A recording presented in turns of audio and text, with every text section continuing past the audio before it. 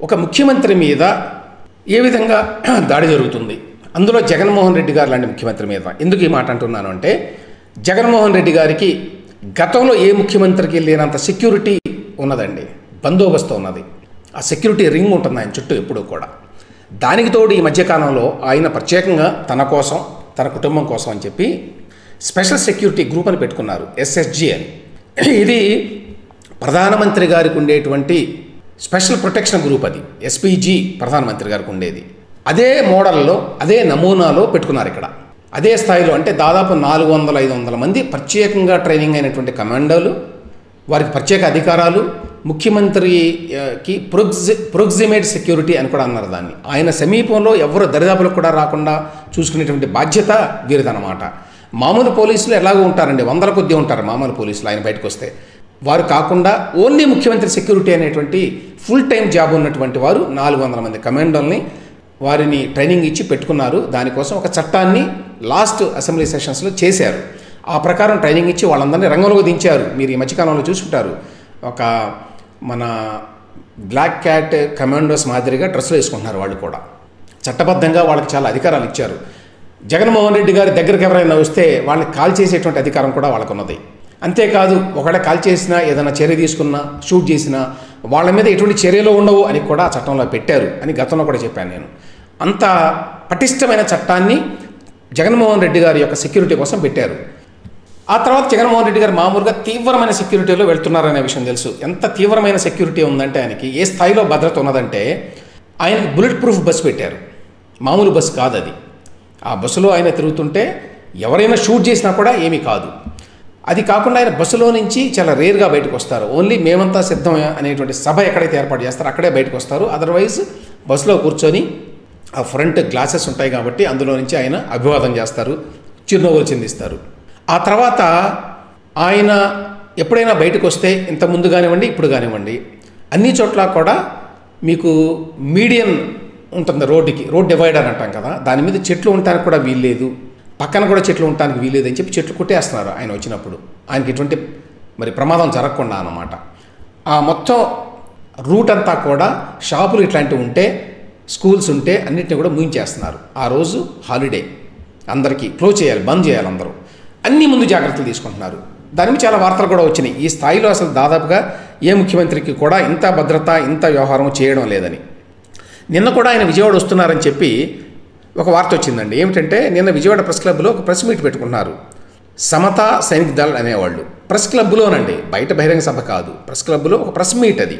విషయం ఏంటంటే ఏపీలో దళితులపై దాడులు దళిత పథకాల రద్దుపై ప్రెస్ మీట్ ఏర్పాటు చేసుకున్నారట. అయితే సీఎం గారు బస్సు యాత్ర ఉన్నది కాబట్టి విజయవాడ చుట్టుపక్కల ఆయన విజయవాడ లోపల కూడా రారు. ఆయన చాలా చోట్ల తిరిగి చివరికి గుడివాడలో అనుకుంటాను సభ.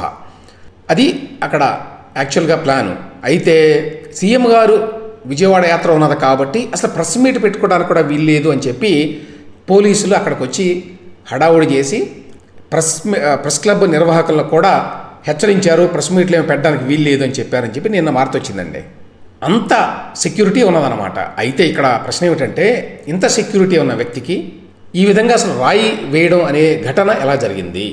ఇది ఎవరి వైఫల్యం? ఇది ఖచ్చితంగా విజయవాడ నగర పోలీసుల వైఫల్యం. అక్కడ కమిషనర్గా ఉన్నటువంటి కాంతి రాణా టాటా గారి వైఫల్యం. రాష్ట్ర డీజీపీగా ఉన్నటువంటి కసిరెడ్డి రాజేంద్రనాథ్ రెడ్డి గారి వైఫల్యం. కాబట్టి అక్కడి నుంచే చర్యలు తీసుకోవడం మొదలు పెట్టాలి తీసుకుంటే ఎందుకంటే దీని మీద జాతీయ ఎన్నికల కమిషన్ కూడా రెస్పాండ్ అయిందని ఎక్కడో చూశాను. ఈ ఘటన మీద పూర్తి స్థాయి నివేదికను సమర్పించాలని చెప్పి రాష్ట్ర ఎన్నికల అధికారికి ఆదేశాలు. ఇవన్నీ మామూలుగానే జరుగుతాయండి. విజయవాడ సిపిని నివేదిక కోరిన రాష్ట్ర డీజీపీ కార్యాలయం. ఏమైనప్పటికీ బాధ్యులు రాష్ట్రంలో ఉన్నత స్థానాల్లో ఉన్నటువంటి పోలీస్ అధికారులు. వాళ్ళదే బాధ్యత ముఖ్యమంత్రి గారి సెక్యూరిటీ. ఎందుకు చేశారు ఈ విధంగాని? ఇక ఇక్కడ కొన్ని రెండు వీడియోస్ చూద్దామండి. ఈ రెండు వీడియోస్ చూస్తే మనకి ఈ ఘటన గురించి కొంత అర్థం అవుతుంది ఇందులో ఏమిటంటే ఒకటి ఫస్ట్ జగన్మోహన్ రెడ్డి గారికి ఆ గజమాల ఈ మధ్య వేస్తున్నారు అందరు రాజకీయ నాయకులకి. అదొక ఫ్యాషన్ అయిపోయింది. అదేమో చాలా భారీగా ఉంటుందండి. ఎంత భారీగా ఉంటుందంటే అది వచ్చి కొట్టుకుంటే పడిపోతారేమో వాళ్ళు అన్నట్టుగా ఆ స్థాయిలో ఉంటాయి. వాటిని క్రెయిన్లు పెట్టి మరీ వేస్తారు. ఎందుకంటే అవి మనుషులు మనుషులు మోయలేరు వాటిని. ఒకవేళ దాన్ని క్రెయిన్ నుంచి కనుక వాళ్ళ మెడలకు వేసేస్తే వాళ్ళు పడిపోతారు. అంత బరువు ఉంటాయి. అది వేయకుండా ఓన్లీ అట్లా తీసుకెళ్ళి అక్కడ పెట్టి మళ్ళీ తీసేస్తున్నారు ఆ క్రెయిన్ల ద్వారా. సో నిన్న కూడా జగన్మోహన్ రెడ్డి గారికి కూడా అటువంటి గజమాల ఒకటి వేశారు. వేసినప్పుడు యాక్చువల్గా ఈ గజమాల పెద్దది కాబట్టి ఇంత లావున ఉంటుంది కాబట్టి ఒక్కొక్కటి. అది తగిలితే కొంచెం దెబ్బ తగులుతుంది. కనీసం ఒత్తిడి ఉంటుంది ఫేస్ మీద. అలా నిన్న జగన్మోహన్ రెడ్డి గారికి కూడా తగిలినట్టు ఆయన కంటి మీద అట్లా చేయి పెట్టుకోవటం అనేది కనిపించిందండి. ఫస్ట్ ఆ వీడియో చూద్దాం మనం.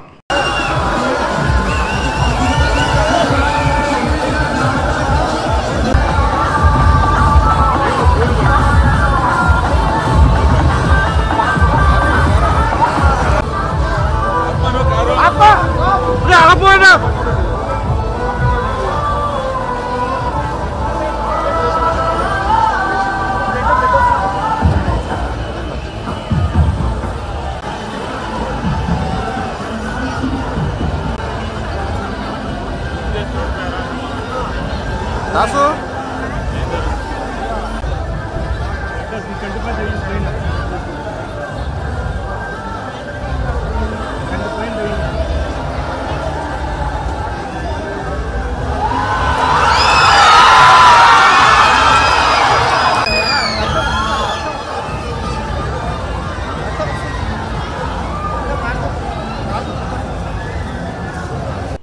సో క్లియర్గా ఆ గజమాల వేసినప్పుడే ఈ దెబ్బ తగిలినట్టుగా నుదుటి మీద ఆయన కొంచెం కొంచెం కుదేలైనట్టుగా కనిపించిందండి. విజువల్ క్లియర్గా అంతా చుట్టూ అందరూ రావటం ఎవరో వచ్చి హ్యాండ్ కర్చీఫ్ తోటి కొంచెం అద్దటం ఇట్లాంటివన్నీ జరిగినాయి. కాబట్టి గజమాల వేసినప్పుడే జగన్మోహన్ రెడ్డి గారికి కొంచెం ఏదో తగిలింది అక్కడ దెబ్బ. ఆ తర్వాత యాక్చువల్గా రాయి వేసిన ఘటన మళ్ళీ ఇంకోటి చూడండి. ఇది ఇంకొక వీడియో.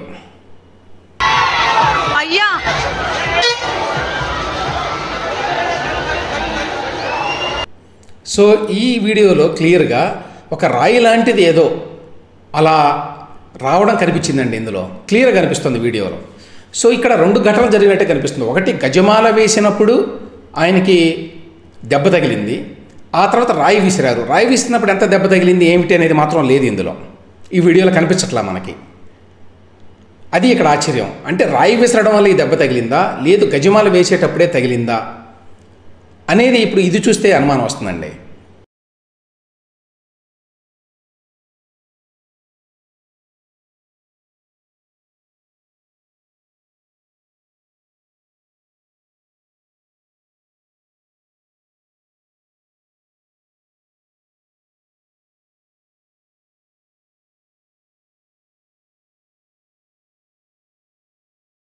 తగిలినప్పుడు మాత్రం కాసేపు ఆయన కొంచెం గందరగోళ పడ్డాడు అనుకోకుండా తగిలిన దెబ్బకి అనేది క్లియర్గా అనిపిస్తోంది. కాబట్టి దీని లోతుల్లోకి వెళ్ళి దీన్ని ఇన్వెస్టిగేషన్ చేయాల్సిన అవసరం ఉంది. యాక్చువల్గా ఆ దెబ్బ గజమాల వల్లగా తగిలిందా? లేదు రాయి వేయడం వల్ల తగిలి తగిలిందా? ఈ రాయి వేయడాన్ని హత్యాయత్నం కింద చూడవచ్చా? లేదు గతంలో వైజాగ్ ఘటనను ఏ విధంగా అయితే రాజకీయ ప్రయోజనాల కోసం ఉపయోగించుకున్నారో అదేవిధంగా రాజకీయ ప్రయోజనాల కోసం ఉపయోగించుకోవడానికి ఈ స్థాయిలో ప్రచారం చేస్తున్నారా హత్యాయత్నం అని? స్వయంగా ఆయన మీడియాలోనే హత్యాయత్నం అనేటువంటి పెద్ద మరి ఏనుగంత అక్షరాలతో రాశారు అంటే. చంద్రబాబు నాయుడు గారు స్పష్టంగా ఎలక్షన్ కమిషన్ ఆఫ్ ఇండియా వారు దీని మీద ఇంపార్షియల్ అండ్ అన్బయాస్డ్ ఎంక్వైరీ చేయాలి అని చెప్పి రాశారండి. అది చేయాలి ఖచ్చితంగా అవసరం అది. అయితే అదే సమయంలో తెలుగుదేశం పార్టీ వారు దీన్ని కొంచెం అపహాస్యం చేస్తూ ట్వీట్లు పెట్టారు. ఏమిటి ట్వీట్లు? కోడికత్తి కమల్ హాసన్ ఈజ్ బ్యాక్ అని చెప్పి దెబ్బ తగిలిందని నటించబోయే ముందు కెమెరా ముందు నటించేటప్పుడు అని ఏదో పెట్టారు వీళ్ళు. సరే మన రాజకీయాలు ఇట్లా ఉన్నాయి కాబట్టి సహజంగానే వాళ్ళటు వీళ్ళటు ఇట్లా పెట్టారు. కింజరపు అచ్చెన్నాయుడు ఒక స్టేట్మెంట్ ఇచ్చాడండి. కోడికత్తి drama two point zero version గులకరాయి దాడి. వీళ్ళు ఏమంటారంటే ఇందులో కీలకమైన పాయింట్ అచ్చెన్నాయుడు గారు చెప్పేది. యాక్చువల్గా మనకు విజువల్స్లో కూడా కనిపించిందండి అది. కరెంటు లేకపోవడం. ముఖ్యమంత్రి ఆ రోడ్డు మీద వెళ్తుంటే కరెంటు లేకపోవడం అనేది మామూలు విషయం అండి. ముఖ్యమంత్రి పర్యటన జరుగుతుంటే కరెంటు తీసేయడం ముందుగా వేసుకున్న పథకంలో భాగం కాదా? ముఖ్యమంత్రి గారు వెళ్తుంటే విజయవాడ లాంటి చోట్ల సింగనగర్ అనే ప్రాంతంలో రోడ్డు మీద కరెంట్ లేకపోవడం ఏంటి? అంతా చీకటిగా ఉండటం ఏంటి అనేది ఒకటి. రెండవది